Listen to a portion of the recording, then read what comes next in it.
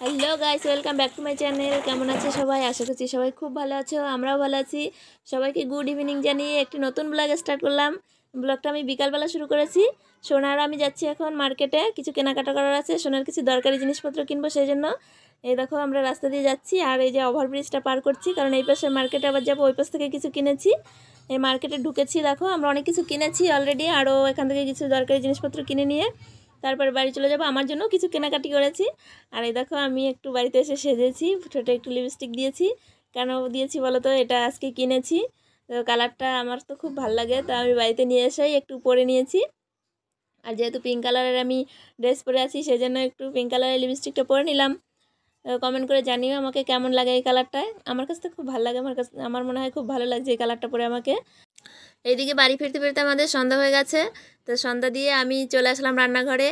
চা করার জন্য এই দেখো, চা বসিয়ে দিয়েছি। গোলমরিচ গুঁড়া দিয়ে লিকার চা করে নিচ্ছি। এই যে লিকার চাটা হয়ে গেছে আমার, এবার আমি চাটা চাকনি দিয়ে ছেঁকে নিচ্ছি। দুই কাপ চা করেছি, যেহেতু দুজনে খাব আমরা। সেই জন্য আমি এই যে চা খেতে বসে গেছি। হরলিক্স বিস্কুট দিয়ে চা খাচ্ছি।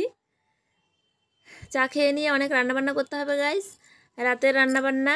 তো সাথে থাকো, দেখতে থাকো পুরো ভিডিওটা। আশা করছি খুব ভালো লাগবে। আর অবশ্যই চ্যানেলটিকে সাবস্ক্রাইব করে দিও, লাইক করে দিও। আর বেশি বেশি করে একটু শেয়ার করো, কমেন্ট করে জানিও। এই যে আমি রান্নাঘরে চলে এসেছি, এসে প্রথমে জিরা ভেজে নিলাম মাছের ঝোল করার জন্য। আর এদিকে পটল ভাজা করব সেই জন্য পটল ভাজ, পটলের মধ্যে হলুদ, লবণ মাখিয়ে ভালো করে আর কড়াই বেশ খানিকটা তেল দিয়ে পটলগুলো ভেজে নেব। এখন পটলগুলো একটু বেশি সময় ধরে হাত, হাতের সাহায্যে মেখে নিচ্ছি। মাখা হয়ে গেছে, এবার আমি পটলগুলো কড়াই দিয়ে দিলাম।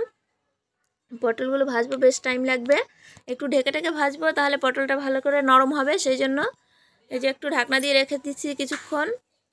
তারপরে ঢাকনা খুলে উল্টে পাল্টে বেশ খানিকটা টাইম ধরে ভেজে নিয়েছি, আর পটলগুলো হয়ে গেছে ভাজা।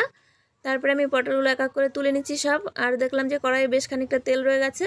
এই তেলে আমি কয়েকটা জিরা ফোড়ন দিয়ে অল্প কয়েকটা আলুর টুকরো দিয়ে দিচ্ছি মাছের ঝোল করার জন্য।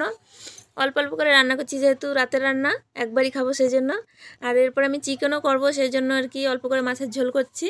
লঙ্কা বাটা, হলুদ গুঁড়া, লবণ পরিমাণ অনুযায়ী সব কিছু দিয়ে আমি মশলাটা কষিয়ে নিচ্ছি খানিকক্ষণ। যতক্ষণ গন্ধটা না চলে যায় মশলার ততক্ষণ আর কি। তারপরে আমি দিয়ে দেবো পরিমাণ অনুযায়ী জল গ্রেভির জন্য। এদিকে পুড়ে যাচ্ছিল তাই একটু নেড়ে দিলাম। আর জল দিয়ে একটু নেড়ে চেড়ে কিছুক্ষণ ঢেকে ঢেকে রান্নাটা করলাম আর মাছ দিয়ে দিয়েছি। এ দেখো, প্রায় হয়ে গেছে। আর আমি একটু বাটা মশলাটাও দিয়ে দেবো।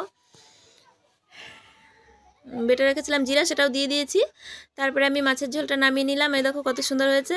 এবার চিকেনটা করার জন্য আমি জিরা, তেজপাতা ফোড়ন দিয়ে করাই আর এদিকে সমস্ত রকমের মশলা দিয়ে চিকেনটা মাখিয়ে রেখেছিলাম।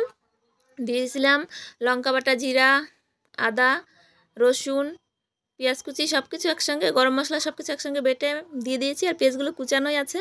আর এই আলুটাও দিয়ে দিলাম। আলুটা আমি পাতলা পাতলা করে কেটে নিয়েছিলাম। কারণ হচ্ছে মাছের ঝোলে দেবো করেই কেটেছিলাম। কিন্তু পরে হাজব্যান্ড ফোন করে বলল যে চিকেন নিয়ে আসছে সেই জন্য চিকেনের জন্য কিছুটা রেখে দিয়েছিলাম। তার জন্য আলুটা আমি একটু পরে দিলাম। আর এই দেখো প্রায় কষা কষা হয়ে গেছে চিকেনটা এই যে আলুটাও সিদ্ধ হয়ে গেছে। আর কিছুক্ষণ রান্না করলেই আমার রেডি হয়ে যাবে। আর সব মশলা তো একসঙ্গে দিয়ে দিয়েছি, আর কোনো মশলা অ্যাড করব না। তো গাইজ এই ছিল আজকের মতো আয়োজন। সব কিছু তোমাদের সঙ্গে শেয়ার করলাম। সবাই খুব ভালো থেকো, সুস্থ থাকো। দেখা হবে পরবর্তী ভিডিওতে টাটা, আজকের মতো।